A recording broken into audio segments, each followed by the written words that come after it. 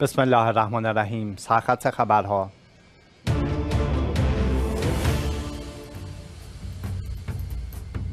افزایش دو برابری زائران خارجی کربلا نسبت به سال گذشته.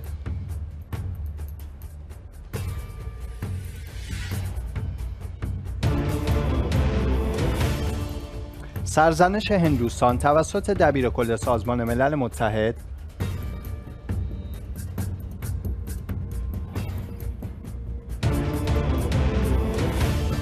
تولید فیلم روایی کوتاه زبیح فراد درباره واقعی کربلا.